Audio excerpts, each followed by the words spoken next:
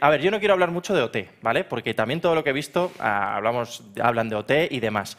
Pero sí que tengo una duda, que es que si tú volverías a la academia en algún momento. Porque y eso, eh, estuvimos aquí también con, con Blas Cantó. ¿Sí?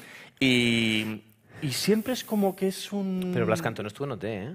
No estuvo en OT, Blas Cantó. Es verdad, entonces a no se lo pregunté. Blas Cantó estuvo en Claro, Eurovisión. yo te estoy mezclando por Eurovisión. No estuvo en OT. Blas Cantó estuvo Claro. en Eurovisión. Era justo a lo que iba ahora mismo, que no estuvo, noté, pero al final Natalia sí, que fue otra entrevistada Que vino aquí. Y vino aquí. Vale. Claro. Estoy con fiebre, ¿eh? Yo, tengo lo- que yo decirlo lo ya. entiendo, yo lo entiendo porque somos Sí. cantantes y nos metéis en el mismo saco. No Sí, a ver, Eurovisión os, os junta. O sea, Sí, nos vamos une. a ver, si tú aquí me has dicho que tú tienes una alianza con una persona de un edamame chupado, yo ¿Cómo? no te puedo está. vincular. Eurovisión, Eurovisión, tal, OT y demás. Vale, Claro, no, no, así. está claro, está claro. Vale, ¿cuál es tu pregunta entonces al final? ¿Cuál era mi pregunta? Ah, sí, eh, el tema de OT, que ¿qué tal?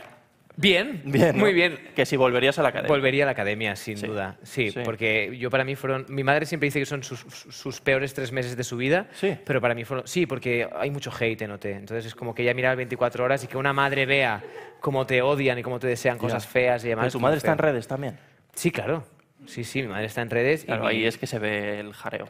Claro, y, y incluso mi madre llamó una vez a la academia el palo, oye, hay que poner seguridad o algo a Miki porque es- estoy viendo por redes sociales que lo quieren matar, literal. ¿Por qué? Porque creen que está liado con no sé quién. Es como, ¿eh?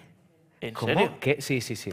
O sea, fue- hubo movidita ahí. de- Sí, hubo mucha movidita. Pero además extra musical, que es como nosotros salimos de allí todos como, "Ja, ja, vamos a hacer músicos, cantantes felices. Y de repente es como, ¿qué está pasando aquí fuera? Porque, hay una, porque ha caído una bomba. O sea, ¿En sí, serio? Pero, pero, y, ¿Pero qué fue exactamente lo que, lo que sucedió? O sea, Pues que se creían que había dos chicas que estaban juntas y que yo estaba de por medio. Cuando ni una cosa ni la otra. Pero de verdad, eso me Te lo lo juro, te lo juro. Y todo el hate era porque tú estabas en medio de una relación. Que no existía.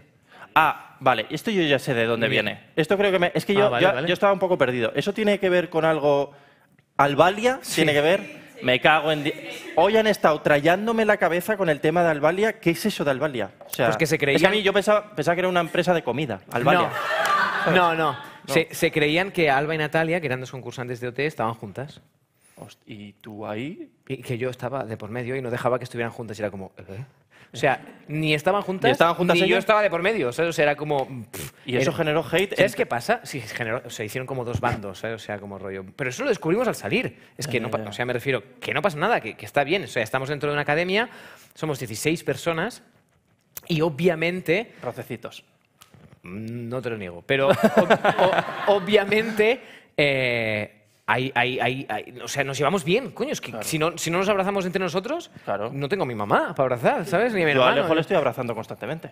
Claro, y Claro, además es bastante abrazable. Es muy abrazado. ¿Eh? Mira, que, mira qué brazacos. Ah, Ropa policía, no, no, por favor.